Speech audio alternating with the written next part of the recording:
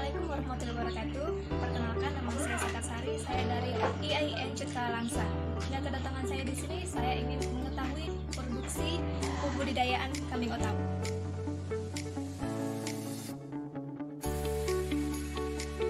Ottawa ada domba domba banyak jenisnya jadi kita terus kambing Ottawa sama sapi sanen namanya sapera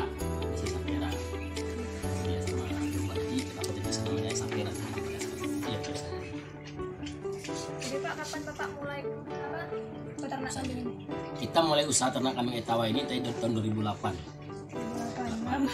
ya sampai sekarang dari lima ekor kambing ya Lima ekor kambing sampai sebanyak ini Pak. iya Untuk jenis ini tersendiri apa nih Pak?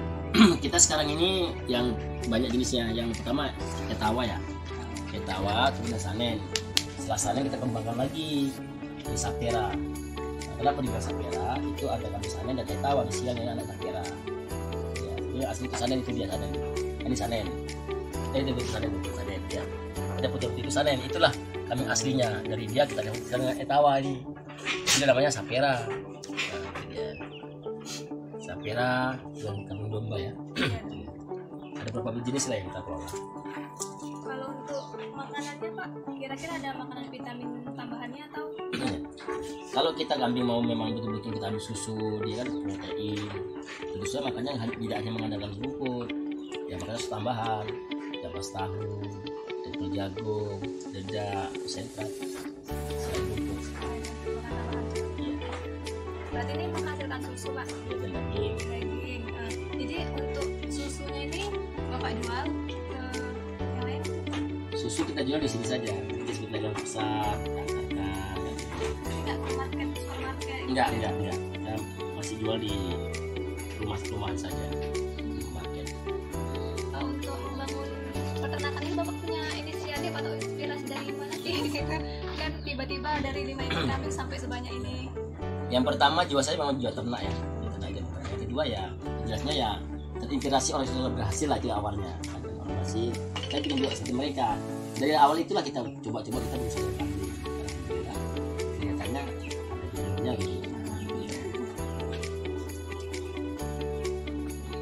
Dombanya 140 ekor, dombanya sekitar totalnya ini sekitar 350 ekor, 400 ya, 400 ekor. Untuk pemerasan sapi itu pak? Pagi atau kambing ya? Jadi untuk proses kambing itu pagi ya. Pagi jam 8 itu kita ada jam-jamnya. Jam 8 kita pas sampai selesai. Kemudian sore tidak kita proses lagi. Tidak ada ada jeda istirahatnya. Untuk Sumatera ya ibu ya. Untuk muda muda ya. Tadi domba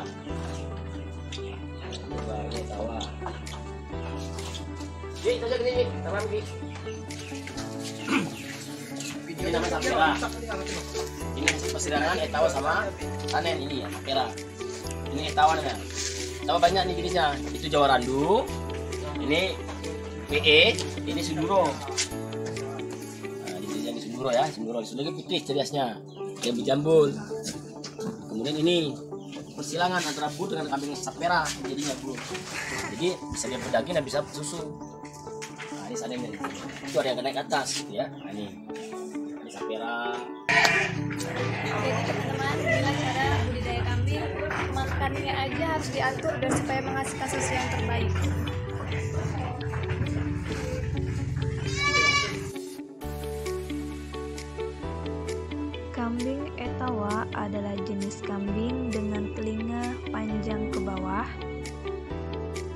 Mengurus kambing etawa ini sangatlah sulit, namun tidak untuk Bapak Suyetno, sang pemilik kambing etawa. Jenis kambing ini dapat bertahan dalam segala macam suhu. Kambing etawa juga merupakan salah satu spesies terkuat di antara jenis kambing lainnya.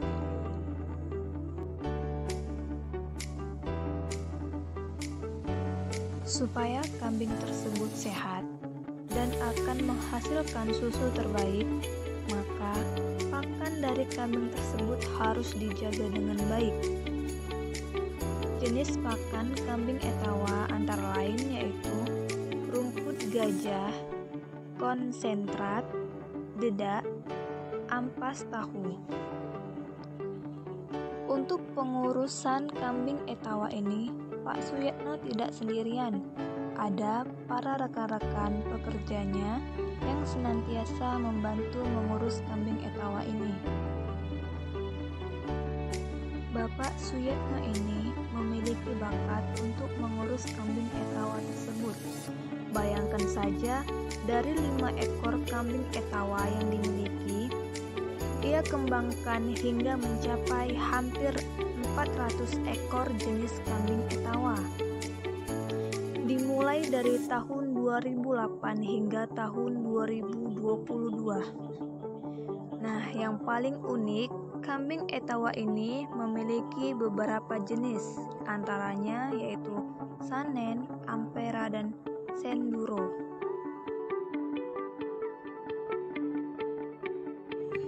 Dalam kesuksesan Bapak Suyatno ini ternyata tidak termotivasi oleh siapa-siapa. Hanya saja beliau gemar memelihara sehingga tak disangka menjadi besar dan banyak seperti ini. Bisa dikatakan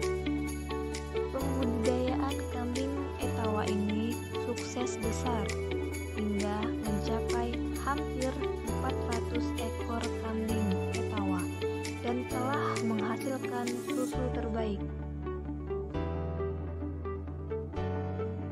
Untuk pemerasan susu kambing ini dilakukan pada pagi hari saja agar kambing-kambing tersebut tetap sehat dan tidak merasa stres atau tertekan.